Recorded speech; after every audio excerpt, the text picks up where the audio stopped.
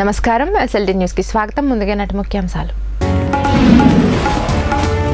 జగనన్న విద్యా దీవెన ద్వారా జిల్లాకు డెబ్బై ఒకటి పాయింట్ ఐదు ఎనిమిది కోట్లు లక్షా పదివేల నాలుగు వందల డెబ్బై ఏడు మంది విద్యార్థులకు లబ్ధి జిల్లా కలెక్టర్ సి. హరికిరణ్ వెల్లడి.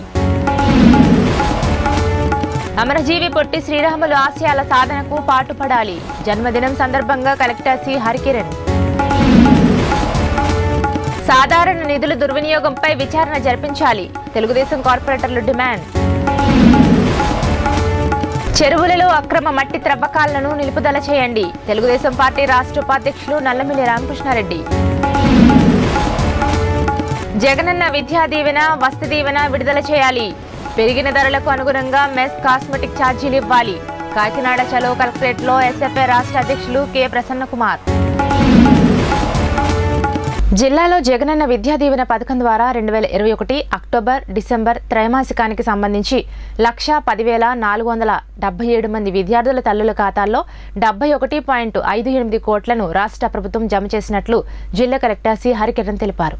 బుధవారం తాడేపల్లి క్యాంపు కార్యాలయం నుంచి ముఖ్యమంత్రి వైఎస్ జగన్మోహన్ రెడ్డి జగనన్న విద్యా దీవెన పథకం కింద ఫీజు రియంబర్స్మెంట్ సొమ్మును విద్యార్థుల తల్లుల ఖాతాల్లో జమ చేసే కార్యక్రమాన్ని వీడియో కాన్ఫరెన్స్ ద్వారా ప్రారంభించారు. ఈ కార్యక్రమానికి కలెక్టరేట్ నుంచి collector Harikiran ZP chairman Viparthi Venugopalarao Kakinada mayor Sunka Sivaprasanna Kakinada urban development authority కూడా చైర్పర్సన్ రాగిరెడ్డి చంద్రకళాది తదితరులు హాజరయ్యారు. జగనన్న విద్యా దీవెన పథకం కింద ఫీజు రియంబర్స్మెంట్ సొమ్మును బటన్ నొక్కి నేరుగా తల్లుల ఖాతాల్లో జమ చేసే కార్యక్రమాన్ని ముఖ్యమంత్రి ప్రారంభించిన అనంతరం కలెక్టర్ ప్రజాప్రతినిధులు అధికారులతో కలిసి విద్యార్థులు వారి తల్లిదండ్రులకు మెగా చెక్ అందజేశారు. ఈ సందర్భంగా కలెక్టర్ హరికిరణ్ మాట్లాడుతూ జగనన్న విద్యా దీవెన పథకం ద్వారా ఏ త్రైమాసికం ఫీజును ఆ త్రైమాసికం అయిన వెంటనే రాష్ట్ర ప్రభుత్వం చెల్లిస్తోందన్నారు. ఇప్పుడు రెండు వేల ఇరవై ఒకటి అక్టోబర్ డిసెంబర్ త్రైమాసికానికి సంబంధించి డెబ్బై ఒకటి పాయింట్ ఐదు ఎనిమిది కోట్లను రాష్ట్ర ప్రభుత్వం విద్యార్థుల తల్లుల ఖాతాలో జమ చేస్తుందన్నారు. విద్యార్థులకు మంచి భవిష్యత్తును అందించే చదువుల కోసం రాష్ట్ర ప్రభుత్వం అమలు చేస్తున్న జగనన్న విద్యా దీవెన పథకాన్ని సద్వినియోగం చేసుకోవాలని ఈ సందర్భంగా కలెక్టర్ విద్యార్థులకు సూచించారు. కార్యక్రమంలో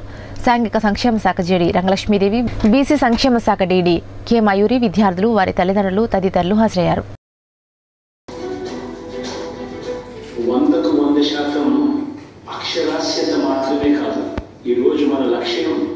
వందకు వంద శాతం గ్రాడ్యుయేట్లుగా పిల్లలు నిలబెట్టాలి అని మన లక్ష్యం.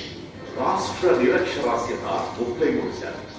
స్కూల్ తర్వాత ఇద్దరికి ఎన్రోల్ చేసుకునే వారి శాతం అరవై ఎనిమిది శాతం. గత ప్రభుత్వం కాలేజీలకు బకాయిలు పెట్టింది అక్షరాల పదిహేడు వందల డెబ్బై ఎనిమిది కోట్లు. చివరి మూడు సంవత్సరాలలో గత ప్రభుత్వం ఆలస్యంగా చేసిన చెల్లింపుల వల్ల కళాశాలల మీద పడ్డ వడ్డీ భారం వెయ్యి కోట్లకు పైన. ఇది జగనన్న ప్రభుత్వం వచ్చే నాటికి ఉన్నత విద్యా దుస్థితి. అధికారంలోకి రాగానే నవరత్నాల్లో భాగంగా జగనన్న ఇచ్చిన హామీ ప్రకారం దేశంలో ఎక్కడా లేని విధంగా అర్హులైన పేద విద్యార్థులందరికీ ఒక కుటుంబంలో ఎందరు పిల్లలున్నా వారందరికీ ఉన్నత చదువులు చదివించే అవకాశం కల్పిస్తూ పూర్తి ఫీజు రియంబర్స్మెంట్ వర్తింపజేశారు చదువుకోవడానికి అసలు అవకాశం లేదనుకున్నా ఇంటర్మీడియట్ నా చదువు అయిపోయింది అనుకున్నాను కానీ జగనన్న దీవెన పథకం ద్వారా మొత్తం ఫీజు రియంబర్స్మెంట్ అనేది ఇస్తున్నారు. నా చదువు అనేది మధ్యలోనే ఆగిపోకుండా ఉన్నత చదువులు చదువుకోవడానికి ఒక అవకాశం కల్పించారు. సో దీనివల్ల ఏంటంటే మంచి కాలేజ్లో చదవాలి మంచి జాబ్ తెచ్చుకోవాలి అన్న డ్రీమ్ ఫుల్ఫిల్ అవుతుంది. ఇది మొత్తం సాధ్యమైంది బికాస్ ఆఫ్ జగన్ సార్. అలాంటి గొప్ప ఐడియాలు గొప్ప వ్యక్తులకు మాత్రమే వస్తాయి. అలాంటి గొప్ప వ్యక్తి మన జగన్మోహన్ రెడ్డి గారు అమరజీవి పొట్టి శ్రీరాములు త్యాగ నిరతి ఫలితంగా భాషా ప్రయుక్త రాష్ట్రాల కింద మొదటిగా తెలుగు ప్రజలకు ప్రత్యేక రాష్ట్రంను సిద్ధించిందని అంత గొప్ప మహానీయునికి ఘన నివాళులర్పించి స్మరించుకోవడం మనందరి బాధ్యత అని జిల్లా కలెక్టర్ సి. హరికిరణ్ పేర్కొన్నారు. పొట్టి శ్రీరాములు జయంతిని పురస్కరించుకుని బుధవారం Kakinada Ramaraopeta CVM school fellowship సెంటర్లో ఉన్న ఆయన విగ్రహానికి జిల్లా collector Harikiran joint collector Sumit Kumar జిల్లా పరిషత్ చైర్మన్ విప్పర్తి వేణుగోపాలరావు కాకినాడ మేయర్ సుంక శివప్రసన్న కాకినాడ నగరపాలక సంస్థ కమిషనర్ స్వప్నిల్ దినకర్ పుంట్కర్ కూడా చైర్పర్సన్. రాగిరెడ్డి చంద్రకళాదీప్తి తదితరులు పూలమాలలు వేసి ఘనంగా నివాళులర్పించారు. అనంతరం కలెక్టర్ మాట్లాడుతూ రాష్ట్ర ప్రభుత్వం ఆదేశాల మేరకు జిల్లాలో పొట్టి శ్రీరాములు జయంతి వేడుకలను ఘనంగా నిర్వహించి నివాళులర్పించడం జరిగిందన్నారు. మహనీయుల త్యాగనర్తి స్ఫూర్తిని భావితరాలకు అందించాలనే ఉద్దేశంతో ఇలాంటి కార్యక్రమాలు నిర్వహిస్తున్నట్లు తెలిపారు. ప్రధానంగా భారత స్వాతంత్ర సంగ్రామంలో జతిన్ దాస్ ఆమరణ నిరాహార దీక్ష ద్వారా ప్రాణాలర్పించారని స్వాతంత్ర్యం సాధించిన తర్వాత ప్రత్యేక ఆంధ్ర రాష్ట్ర సాధన కోసం ఆమరణ దీక్ష చేసి ప్రాణాలర్పించిన మహోన్నత వ్యక్తి పొట్టి శ్రీరాములని పేర్కొన్నారు.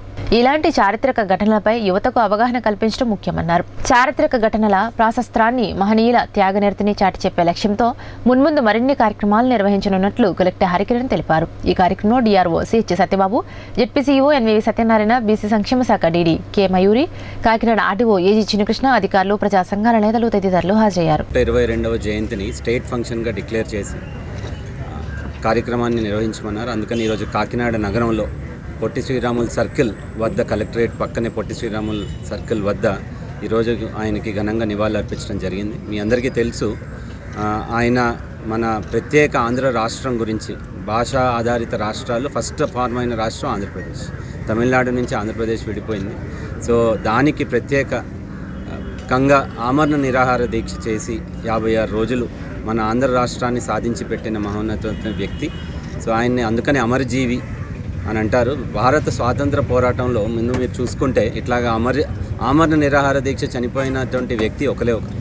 జతిన్ దాస్ లాహోర్ జైల్లో ఏదైతే మన భారతీయ ఖైదీలు ఉన్నారో వాళ్ళకి కరెక్ట్ సదుపాయాలు ఎలా అయితే యూరోపియన్ ఖైదీలకు విధంగానే మాకు కల్పించాలని చెప్పి స్వాతంత్ర పోరాటంలో ఇలాగ ఆమరణ నిరాహార దీక్ష చేసి చనిపోయినటువంటి ఏకైక వ్యక్తి జతీన్ దాస్.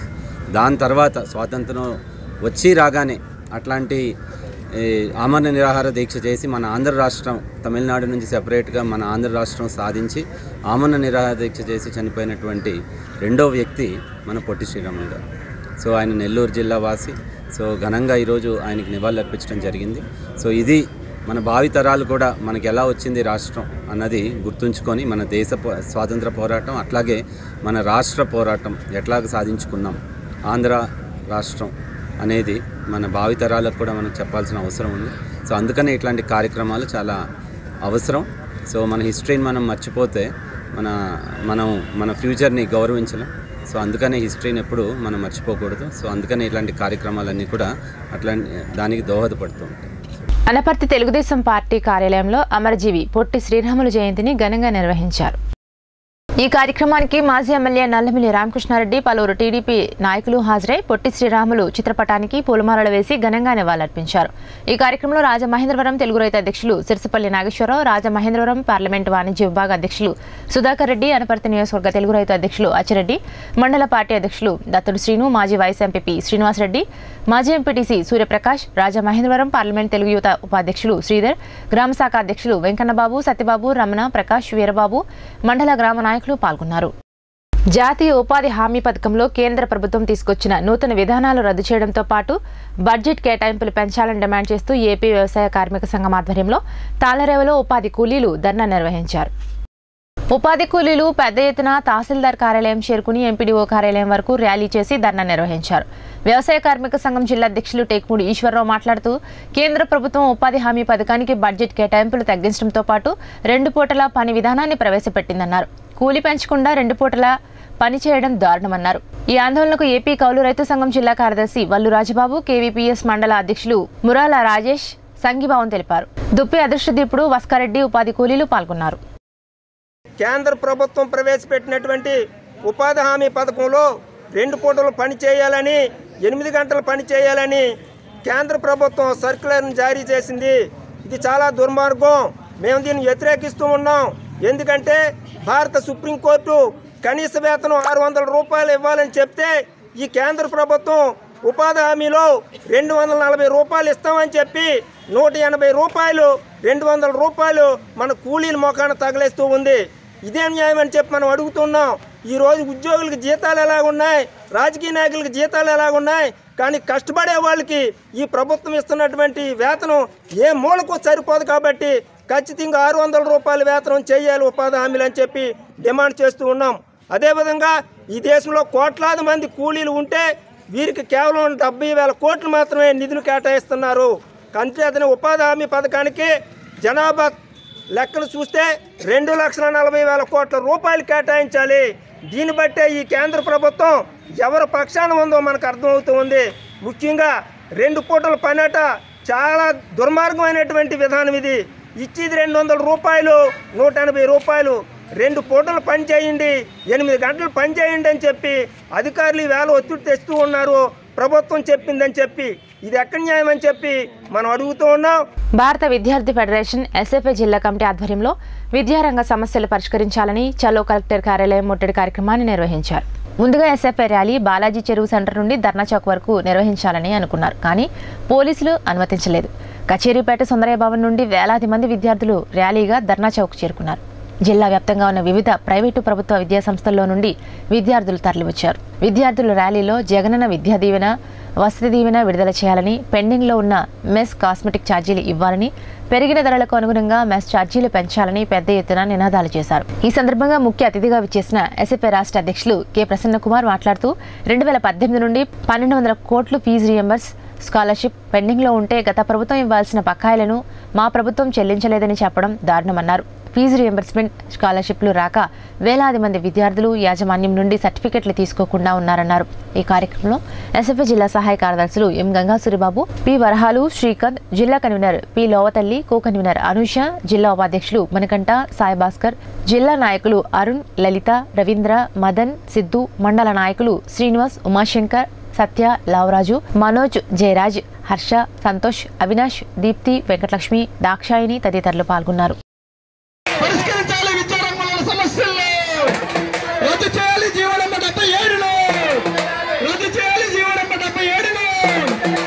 మీరు చేసే కార్యక్రమం మీకోసమే కాకుండా భావితరాల భవిష్యత్తు కోసం కూడా ఉపయోగపడుతుంది. మీకు ఈ రోజు రోడ్డుపైకి వచ్చినందుకు మనస్ఫూర్తిగా అభినందిస్తున్నాను కూడా ఈ సందర్భంగా తెలియజేస్తున్నాను మీ అందరికి కూడా. ఈ రోజున మీరు చేస్తున్న స్ఫూర్తి ఈ ఒక్క కాకినాడ కాదు రాష్ట్ర వ్యాప్తంగా విద్యార్థులందరికీ ఉపయోగపడే ఇది కార్యక్రమం కాబోతుందని కూడా ఈ సందర్భంగా తెలియజేస్తున్నాం. ఈరోజు రాష్ట్రంలో జగన్మోహన్ రెడ్డి ప్రభుత్వం రెండున్నర సంవత్సరాల అధికార కాలంలో రెండు వేల పంతొమ్మిది ఎన్నికల్లో ఎల్కేజీ నుంచి పీజీ విద్యార్థులకి ఉచిత విద్య అందిస్తామని ఎన్నికల్లో ప్రగల్భాలు పలికాడు జగన్మోహన్ రెడ్డి.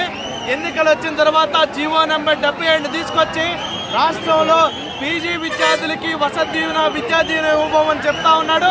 ఈరోజు రాష్ట్రంలో వేలాది లక్షలాది మంది విద్యార్థులు చదువుకుంటున్నటువంటి ఏడేడు విద్యా సంస్థల్ని ప్రైవేటీకరణ చేయడానికి జీవో నెంబర్ నలభై రెండు యాభై తీసుకొచ్చాడు. వెంటనే ఆ రెండు జీవోల్ని రద్దు చేయాలని ఈరోజు ఎస్ఎఫ్ఐ తెలియ డిమాండ్ చేస్తా ఉన్నాం. రాష్ట్ర వ్యాప్తంగా ఈరోజు కలెక్టరేట్ నిర్వహిస్తా ఉన్నాం. ఈరోజు కలెక్టరేట్లకు భయపడి విద్యా దీవెన డబ్బులు విడుదల చేశాడు. మిగిలినటువంటి ఏవైతే డిమాండ్లు ఏవైతే ఉన్నాయో ఆ డిమాండ్లు వెనక్కి తీసుకోవాలని ఈ ప్రభుత్వానికి హెచ్చరిక జారీ చేస్తా ఉన్నాం. నూతన జాతీయ విద్యా విధానం ద్వారా పాఠశాలలో మూడు నాలుగు ఐదు తరగతుల్ని హై స్కూల్కి విలీనం చేస్తా ఉన్నాడు. పద్దెనిమిది వేల పాఠశాల మూసేస్తా ఉన్నాడు. ఇది అత్యంత దుర్మార్గమైంది. ఈ డిమాండ్లు కనుక పరిష్కారం చేయకపోతే ఈ కలెక్టరేట్ల తర్వాత ఈ అసెంబ్లీ సమావేశాల సందర్భంగా జిల్లా విజయవాడ నిర్వహిస్తాం. వేలాది మంది విద్యార్థులు విజయవాడకు వచ్చి ప్రభుత్వం మా సమస్యలు కనుక పరిష్కారం చేసేంత వరకు పోరాటం చేస్తామని ప్రభుత్వానికి హెచ్చరిక చేస్తా ఉన్నాం. అనపర్తి నియోజకవర్గంలో నీటిపారుదల శాఖకు సంబంధించిన చెరువులలో అక్రమంగా మట్టి త్రవ్వి ఇతర ప్రాంతాలకు రవాణా చేయడం జరుగుతుందని టీడీపీ రాష్ట్ర ఉపాధ్యక్షుడు నల్లమిల్లి రామకృష్ణారెడ్డి ఆరోపించారు.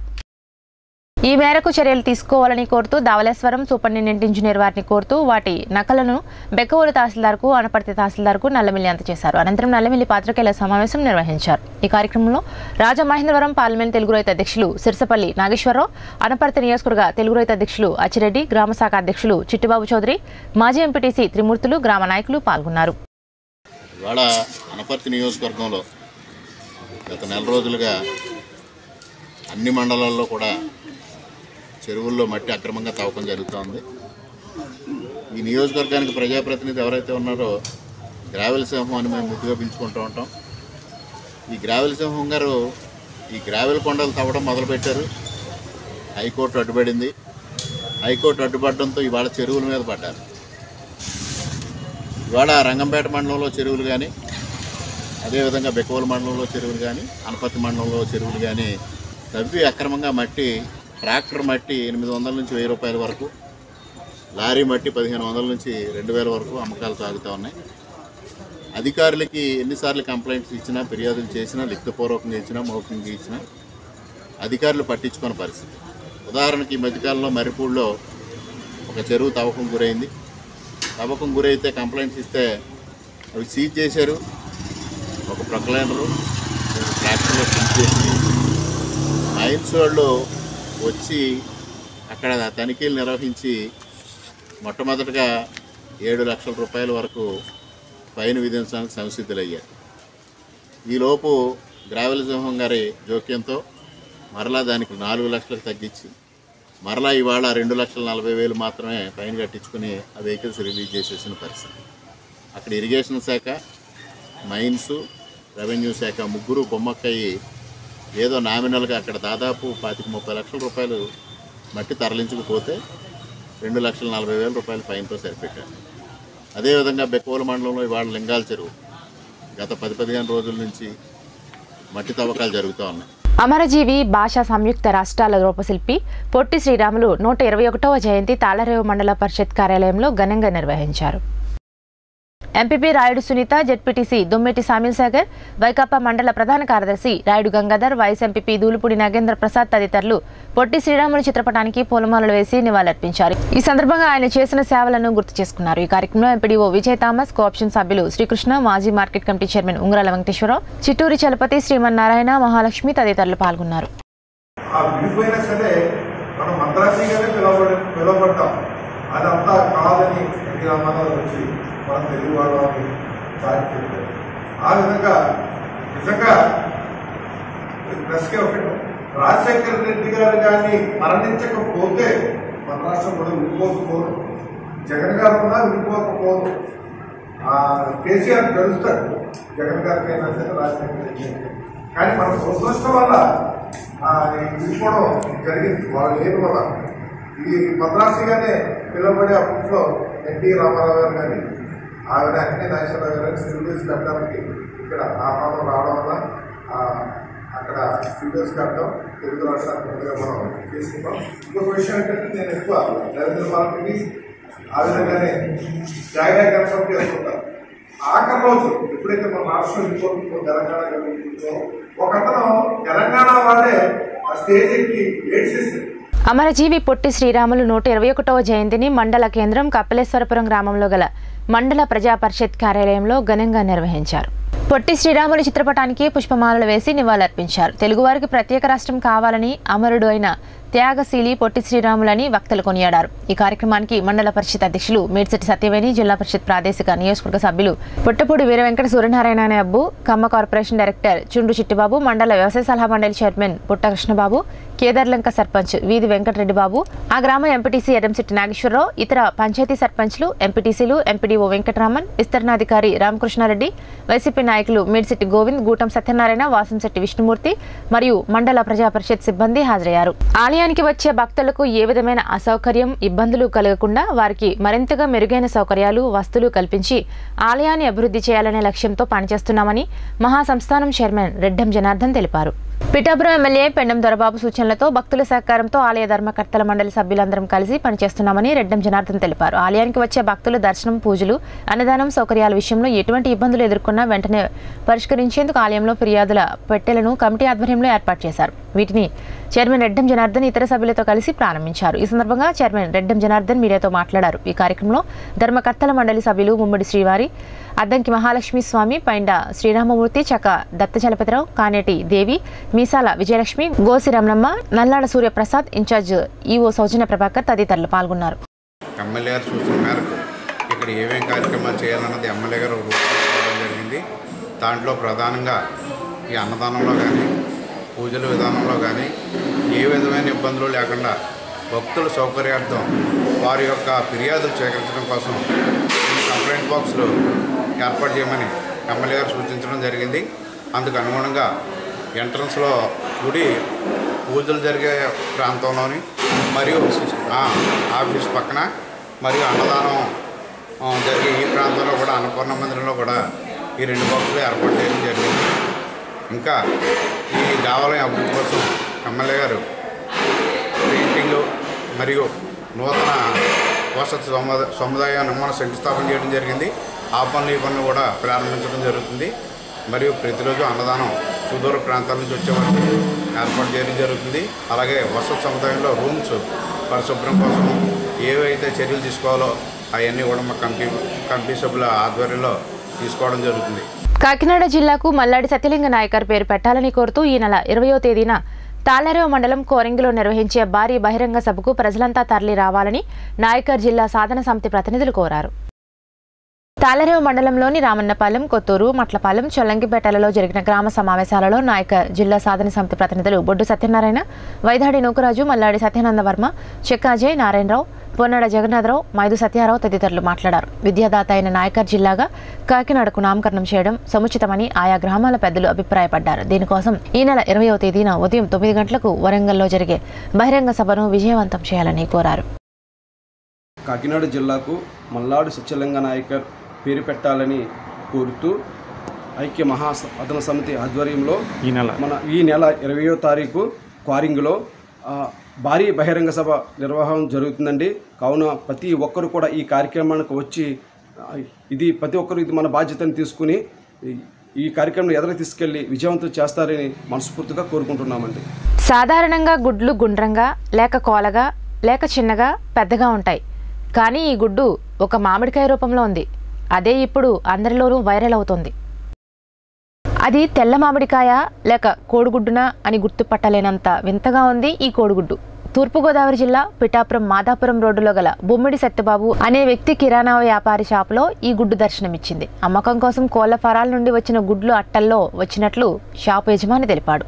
ఒక మామిడికాయ కోడిగుడ్డు రెండు పక్కపక్కనే పెట్టి చూస్తే ఏ మాత్రం తేడా లేకుండా పచ్చి మామిడికాయ తెల్ల మామిడికాయలా కనిపిస్తుంది. పట్టుకుంటే మాత్రమే ఒక గుడ్డు అనే ఫీలింగ్ కలుగుతుంది.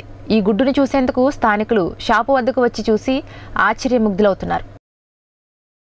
పన్నుల రూపంలో కాకినాడ నగర ప్రజలు దాచుకున్న కాకినాడ నగరపాలక సంస్థ సాధారణ నిధులు దుర్వినియోగంపై విచారణ జరిపించాలని తెలుగుదేశం కార్పొరేటర్లు డిమాండ్ చేశారు.